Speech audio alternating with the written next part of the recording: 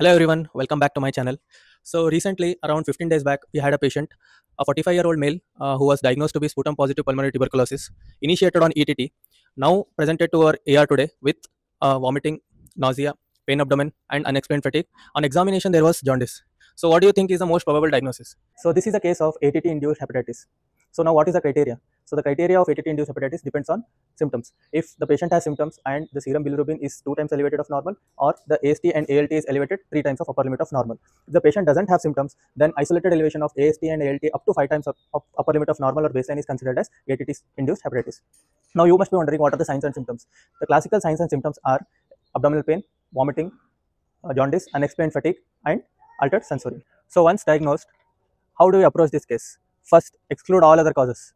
Send HBsAg, anti-HCV, anti-HAV, PTINR, and USG abdomen to rule out all other causes like viral hepatitis. Step number two, stop all the hepatotoxic drugs. Now, see whether the patient urgently needs ATT or patient doesn't urgent does not need urgently ATT. The patient needs urgent ATT in case of sputum positive pulmonary tuberculosis, then ocular tuberculosis, pericardial tuberculosis, CNS TB or TB meningitis, and uh, joint TB or else spine TB, or any uh, form of TB that is life threatening. For example, intestinal TB with intestinal obstruction. On the other hand, if there is uh, no urgent need of ATT in conditions like sputum negative pulmonary tuberculosis, TB pleural effusion, TB lymphadenitis, TB ascites, intestinal TB.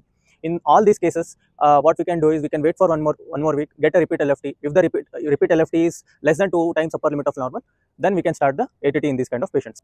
However, in our case, our patient was a case of sputum positive pulmonary tuberculosis and he urgently requires ATT. So how do we approach in this case? First, we have to switch to non-hepatotoxic drugs. Usually, we uh, use a combination of fluoroquinolone, that is levofloxacin, along with ethambutol combination. Some guidelines also recommend using aminoglycosides to this combination.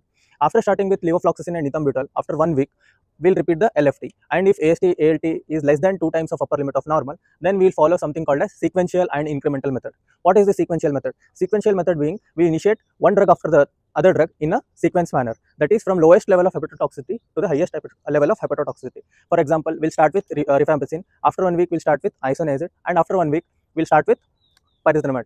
Care should be taken that LFT remains normal in during these switches. Okay, then what is this incremental method? Incremental method is whatever drug we start, we start with the lowest possible dose on the day 1. We gradually increase the dose to day 4 to reach a maximum dose on day 4. Then 5, 6, 7 day, we continue the same dose of drug. On the 8th day, repeat LFT. If the re repeat LFT, AST, ALT is less than upper uh, 2 times of our upper limit of normal, then start one more drug. So once the patient uh, tolerates sequential as well as incremental method of initiation of ATT, then we'll switch the patient to fixed dose combination of ATT. From that day onwards, we'll count the duration of the ATT. So how do we manage if the patient is already a known case of liver disease? To approach this, kindly follow this table. So summarizing it, check whether the patient fits into the criteria for ATT-induced hepatitis. Second, exclude all other causes. Third, check stop all the hepatotoxic drugs and check if the patient urgently needs ATT. If the uh, patient urgently needs ATT, start on non-hepatotoxic drugs first, followed by sequential and incremental method, followed by fixed drug combination of ATT. So kindly follow the page for more such content.